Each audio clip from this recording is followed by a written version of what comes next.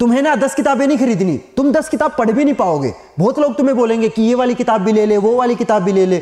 हमें ना पढ़ना है। घर को लाइब्रेरी नहीं बनाना है। जो जो चीज़ तुम्हें मैं बता रहा हूँ ना, बस तुम इतना फॉलो कर लो। फाड़ दोगे तुम।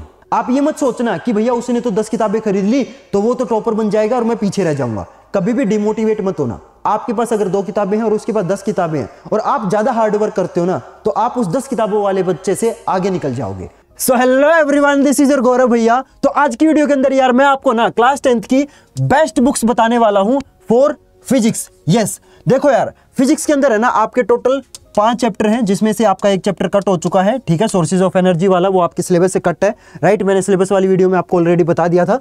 तो आपके फिजिक्स के अंदर टोटल चार चैप्टर आएँगे।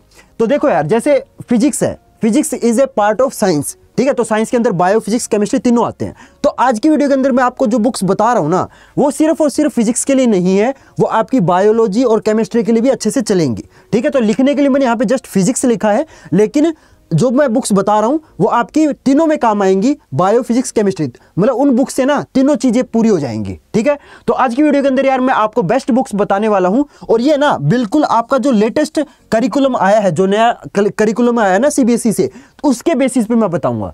ठीक है, जितनी भी बुक्स पुरानी चलती आ रही है, उनमें क्या होता था, वो पुराने सिलेबस के हिसाब से थी। लेकिन नए सिलेबस के हिसाब से, नए करिकुलम के हिसाब से आपकी जो बुक्स है ना, वो चेंज हो जाती हैं। ठीक है तो मैं इस नए सेशन के हिसाब से जो आपकी बेस्ट बुक्स है, वो मैं आपको बताने वाला हूँ। तो चलो यार वीडियो को शुरू करते हैं। तो सबसे पहले मैं आपको एक स्टोरी बताता हूँ, बहुत छोटी सी और बहुत ही प्यारी स्टोरी है। एक है ना, गाँव था, उसमें क्या हुआ? गाँव में ना पानी खत्म हो गया। ठीक है, जैसे सूखा पड़ जाता है ना, अकाल आ जाता है, उस गाँव में मतलब पानी ही नहीं मिल रहा था। लोगों के पास मतलब पीने तक का पानी नहीं था। तो एक इंसान ने क्या किया? उसने ना ज़मीन खोदनी शुरू की। वो यहाँ तक खोदी, फिर उसको लगा कि यार, पानी तो है ही नहीं। फिर वो क्या किया उसने? फिर वो थोड़ी सी दूर जाके फिर ज़मीन खोदने लग गया। फिर उसने इतनी खोदी, फिर उसको लगा, यार, पानी तो है ही नहीं। फिर उसने थोड़ा सा और आगे जाके खोदी। फिर उसने फिर से इतनी खोदी फिर उसको लगा, यार, यहाँ भी पानी नहीं है। लेकिन एक्चुअली में जो पानी था, वो यहाँ था। ये सारा पानी है। तो बेसिकली अगर वो तीन जगह अलग अलग मेहनत करने के, वो अगर एक जगह अच्छे से मेहनत करता, अगर एक जगह ही अच्छे से खोदता तो उसको पानी इजीली मिल जाता राइट तो इस स्टोरी से आपको क्या समझ में आया? कि हमें दस जगह नहीं भटकना है, हमें बस एक जगह अच्छे से फोकस करना है। तो यहाँ से आपको क्या समझ आया कि हमें ना दस किताबें नहीं करनी है, ठीक है? अगर हम दो किताबें भी खरीद रहे हैं ना, बस उन दो किताबों को इस तरीके से कर दो कि मतलब वो दस किताबों के बराबर हो जाए। एक लड़का है जिसने ना दो किताबें अच्छे से की है। वहीं पे एक दूसरा लड़का है जिसने दस किताबें आधी आधी पढ़ी है। किसके ज़्यादा नंबर आएँगे?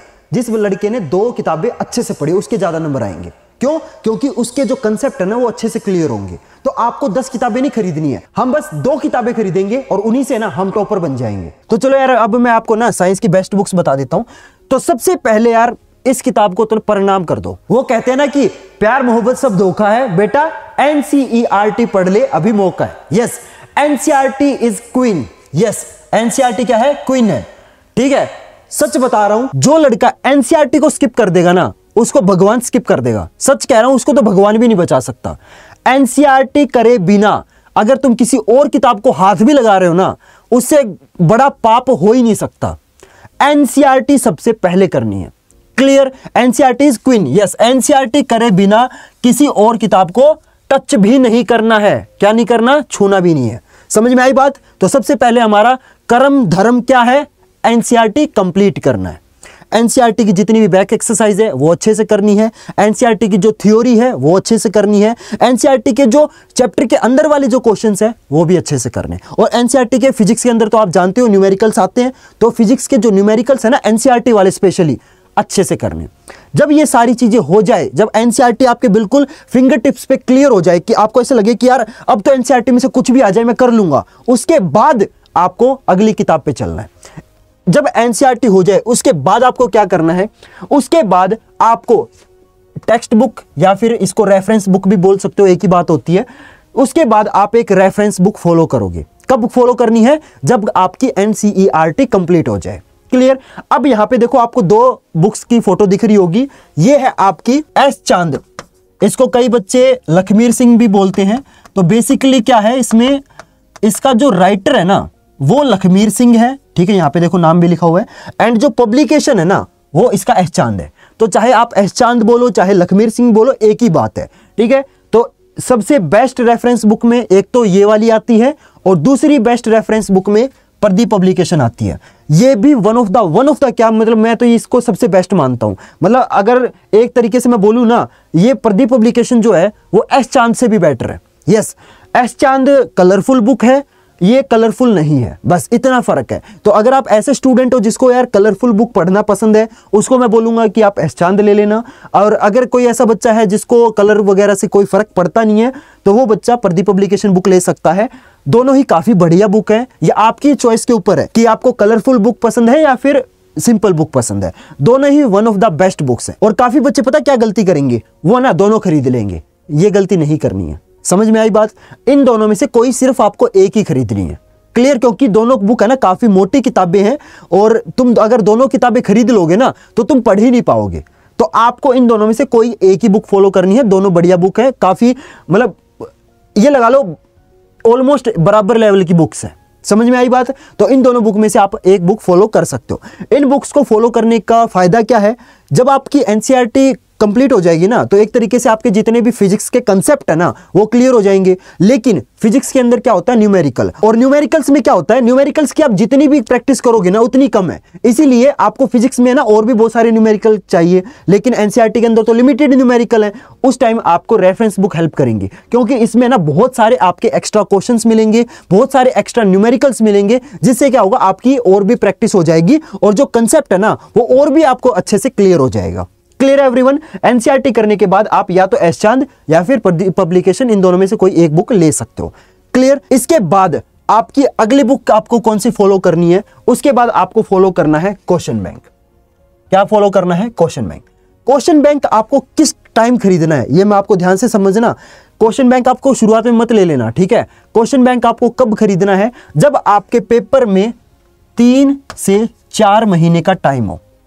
जैसे कि फॉर एग्जांपल आपके पता ही इस बार आपके जो पेपर है वो पंद्रह फरवरी को शुरू होने वाले हैं। सीबीएसई e ने ऑलरेडी बता दिया ना कि इस बार जो आपके पेपर है वो पंद्रह फरवरी को शुरू होंगे। तो उसका मतलब आपको क्वेश्चन बैंक कब खरीदना है? आपको ऑलमोस्ट अक्टूबर के टाइम खरीदना है। समझ में आई बात? अक्टूबर से पहले आप क्वेश्चन बैंक को खरीदना मत, क्योंकि ऑलमोस्ट ज़्यादातर बच्चों का क्या होता है? सेप्टेंबर में जाके उनका सिलेबस कंप्लीट होता है। ठीक है? तो अक्टूबर के आसपास अगर आप क्वेश्चन बैंक खरीदोगे तो ठीक रहेगा। उससे पहले खरीदोगे तो आप अच्छे से पढ़ाई नहीं कर पाओगे, क्योंकि स्टार्टिंग में आपका जो फोकस है ना, वो सिलेबस कंप्लीशन पे होना चाहिए। ठीक है? ज़्यादा प्रैक्टिस पे स्टार्टिंग में फोकस मत करना। एक बार आप अपना सिलेबस कंप्लीट कर लेना, उसके बाद आप क्वेश्चन बैंक ले सकते हो। क्लियर तो अक्टूबर के टाइम आप क्वेश्चन बैंक खरीद सकते हो। अब क्वेश्चन बैंक में कौन कौन से क्वेश्चन बैंक बढ़िया रहते हैं? एक ओसवाल वाले क्वेश्चन बैंक है और दूसरा है एडुकार्ट वाले। दोनों ही काफ़ी बढ़िया क्वेश्चन बैंक है मेरे हिसाब से वन ऑफ़ द बेस्ट है। सबसे ज़्यादा यही वाले क्वेश्चन बैंक बिकते हैं। एंड मेरे पास दोनों रखे हुए हैं और मैंने दोनों अच्छे से पढ़े हैं।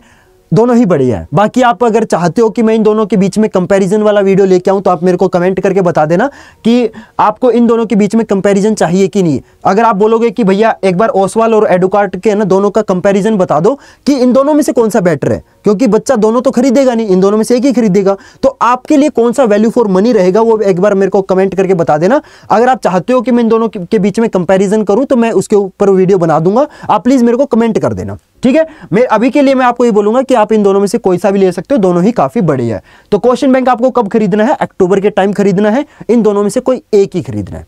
क्लियर इसके बाद यार आपके आते हैं सैंपल पेपर देखो, अब सैंपल पेपर हर बच्चे को नहीं खरीदने हैं। क्यों? देखो क्वेश्चन बैंक के अंदर ऑलरेडी है ना, आपके सैंपल पेपर होते हैं। तो जो बच्चा क्वेश्चन बैंक ले लेगा उसको सैंपल पेपर नहीं खरीदने हैं और जो बच्चा सैंपल पेपर खरीद रहा है, उसको क्वेश्चन बैंक नहीं लेना है। या तो आप क्वेश्चन बैंक लो, या फिर आप सैंपल पेपर लो। इन दोनों में से कोई एक लेना, ठीक है? क्योंकि आप क्वेश्चन बैंक के साथ सैंपल पेपर सोल्व नहीं कर पाओगे। क्योंकि सिर्फ़ आपके पास साइंस थोड़ी है। आपके पास हिंदी, इंग्लिश एसएसटी बाकी सब्जेक्ट भी तो है राइट तो आप इतना टाइम बाकी सब्जेक्ट्स में नहीं दे पाओगे अगर आप क्वेश्चन बैंक और सैंपल पेपर दोनों ले लेते हो तो। इसीलिए या तो आप क्वेश्चन बैंक लेना या फिर आप सैंपल पेपर लेना, इन दोनों में से एक लेना। अब किन बच्चों को क्वेश्चन बैंक लेने चाहिए और किन बच्चों को सैंपल पेपर लेने चाहिए, ये मैं आपको बता देता हूँ। तो देखो यार, क्वेश्चन बैंक है ना, थोड़े से कॉस्टली आते हैं, अराउंड पाँच सौ के आसपास आते हैं, ठीक है? एंड वहीं पे जो सैंपल पेपर है, ये करीब तीन सौ रुपए के आसपास आते हैं। तो अगर आपका बजट इशू है, अगर आपको लग रहा है कि यार भैया मैं पाँच सौ रुपए का क्वेश्चन बैंक नहीं ले सकता तो आप उस टाइम सैंपल पेपर ले लो। ठीक है, अगर आपका बजट कम है तो आप सैंपल पेपर ले सकते हो, लेकिन अगर आपका बजट ठीक ठाक है तो आप उस टाइम क्वेश्चन बैंक ले सकते हो। क्वेश्चन बैंक ज़्यादा बेटर रहेगा क्योंकि ऑब्वियस सी बात है क्वेश्चन बैंक जो होता है ना, वो थोड़ा सा मोटा होता है, उसके अंदर ज़्यादा क्वेश्चन होते हैं। क्लियर और मैं आपको एक चीज़ और बता देता हूँ, अगर कोई बच्चा इस वीडियो को दिसंबर या फिर जनवरी के टाइम देख रहा है ना तो उस बच्चे को क्वेश्चन बैंक नहीं लेना है। ठीक है? अगर आप इस वीडियो को दिसंबर या जनवरी के टाइम देख रहे हो तो उन बच्चों को मैं सिर्फ़ और सिर्फ़ सैंपल पेपर लेने की सलाह दूँगा। दिसंबर और जनवरी के टाइम आप क्वेश्चन बैंक मत लेना, क्योंकि क्वेश्चन बैंक फिर आप दो महीने में कंप्लीट नहीं कर पाओगे। क्लियर लेकिन अगर आप दिसंबर और जनवरी से पहले देख रहे हो तो आपके फिर बजट के हिसाब से डिपेंड करता है कि आप तीन सौ का सैंपल पेपर लेना चाहोगे या पाँच सौ का क्वेश्चन बैंक ठीक है? वैल्यू फॉर मनी मैं सैंपल पेपर को बोलूँगा, क्योंकि ऑलमोस्ट सैंपल पेपर के और क्वेश्चन बैंक के जो क्वेश्चन होते हैं ना, वो सेम होते हैं। समझ में आई बात? है हाँ क्वेश्चन बैंक और सैंपल पेपर दोनों साथ मत ले लेना, क्योंकि फिर वो आपके बजट से बाहर चली जाएगी। तीन सौ रुपये का ये लोगे, पाँच सौ रुपये का वो लोगे तो मतलब मैं उस चीज़ को सपोर्ट नहीं करता हूँ। ठीक है, या तो सैंपल पेपर लेना या फिर क्वेश्चन बैंक लेना। क्लियर एवरीवन और सैंपल पेपर देखो यार, नाम से ही पता चल रहा है कि इसके अंदर आपको क्या मिलेंगे। इसके अंदर आपको सीबीएसई e का जो नया लेटेस्ट पैटर्न है ना, उसके हिसाब से जो आपके सैंपल पेपर है, वो इसके अंदर आपको मिलेंगे। ठीक है तो ये सब मैंने आपको बता दिया। एक बहुत इंपॉर्टेंट चीज़ यहाँ पे लिखी हुई है।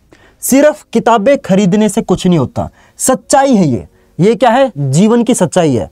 लाइब्रेरियन देखा है आपने? लाइब्रेरियन कौन होता है? जो लाइब्रेरी के अंदर बैठता है। लाइब्रेरियन के चारों तरफ़ किताबें ही किताबें होती हैं। लेकिन फिर भी वो उसके अंदर उन सभी किताबों की नॉलेज नहीं होती। तो ज़रूरी नहीं है कि आपको दस किताबें खरीदनी है। दस किताबें खरीदने वाला टॉपर नहीं बनता।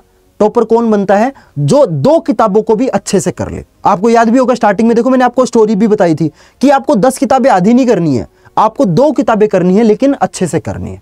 तो सिर्फ़ किताबें खरीदने से कुछ नहीं होता। आप ये मत सोचना कि भैया, उसने तो दस किताबें खरीद ली तो वो तो टॉपर बन जाएगा और मैं पीछे रह जाऊँगा। कभी भी डिमोटिवेट मत होना। आपके पास अगर दो किताबें हैं और उसके पास दस किताबें हैं, और आप ज़्यादा हार्डवर्क करते हो ना तो आप उस दस किताबों वाले बच्चे से आगे निकल जाओगे। मैं इस बात की गारंटी देता हूँ। समझ में आई बात? ठीक है? तो जितनी भी आप किताबें खरीद रहे हो, उनको पढ़ना है। खरीद के ना लाइब्रेरी नहीं बनानी, रखनी नहीं है किताबें। ठीक है? रखे रखे से आपके दिमाग में नहीं घुसेंगी वो। वो जब खोलोगे, जब पढ़ोगे, जब अपने हाथ से क्वेश्चन सोल्व करोगे, तब वो उन किताबों का आपको फ़ायदा होगा। सिर्फ़ किताबें खरीदने से कुछ नहीं होता। समझ में आई बात? क्लियर है एवरीवन तो यार मेरे ख्याल से आपको सारी चीज़ें अच्छे से समझ आ गई होगी कि किस बच्चे को किस टाइप की बुक्स खरीदनी चाहिए। और सबसे पहले आपको क्या करना है? एनसीईआरटी करनी है, उसके बाद आपको रेफरेंस बुक करनी है, उसके बाद या तो क्वेश्चन बैंक करना या फिर सैंपल पेपर करना डिपेंड ऑन योर बजट तो मेरे ख्याल से यार आपको ना सारी चीज़ें अच्छे से समझ आ गई होंगी, ठीक है? अब यार मैं एक बहुत ही गजब की चीज़ आपको बताने वाला हूँ। समथिंग बिग इज़ कमिंग आपने देखा मैंने कुछ लिखा है यहाँ पे? एक बहुत ही कुछ बड़ी खतरनाक चीज़ आने वाली है। यस यार मैं ना आपके लिए इतनी खतरनाक चीज़ लेके आने वाला हूँ ना। मतलब ना तो आपने आज तक वो चीज़ किसी यूट्यूब चैनल पे देखी होगी, ना आपने आज तक वो चीज़ किसी एडिटेक कंपनी के अंदर देखी होगी। इतनी खतरनाक और इतनी धासु चीज़ लेके आने वाला हूँ ना कि मतलब आपकी ना आँखें फटी की फटी रह जाएगी कि भैया ये क्या ले आए आप? उसके लिए आपको क्या करना पड़ेगा? सिर्फ़ और सिर्फ़ चैनल को सब्सक्राइब करना है। क्योंकि जब चैनल को सब्सक्राइब करोगे, तभी तो पता चलेगा ना कि क्या बड़ा आने वाला है। अगर आप चैनल को सब्सक्राइब नहीं करोगे तो आप मिस कर दोगे इतनी बड़ी चीज़। Right right? इसलिए मैं आपको बोलूँगा कि वो जो सब्सक्राइब वाला बटन है, जल्दी से दबा दो। क्योंकि मैं देखता हूँ, यार, बहुत सारे बच्चे ना सब्सक्राइब करना भूल जाते हैं। इसीलिए मैं तुम्हें याद दिला रहा हूँ कि वो सब्सक्राइब कर दो। और लाइक वगैरह तो मेरे ख्याल से ऑलरेडी अभी तक तुमने कर ही दिया होगा। मेरे को पता यार मतलब मेरे को ना अपने स्टूडेंट्स पे भरोसा है कि वो ना बहुत सारे बच्चे, पता क्या है? वीडियो शुरू होने से पहले लाइक कर देते हैं। तो मेरे को पता तुमने अभी तक ऑलरेडी लाइक कर दिया होगा।